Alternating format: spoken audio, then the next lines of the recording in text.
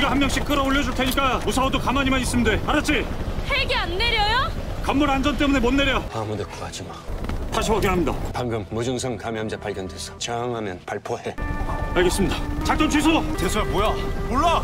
데려가 주세요 아저씨 제발요 나 간다고요 나 좀 데려가 달라고 우리 좀비 아니에요.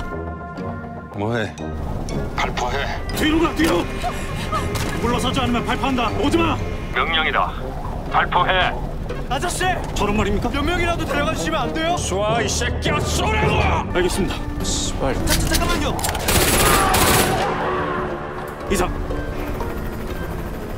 복귀해. 알겠습니다. 미안하다.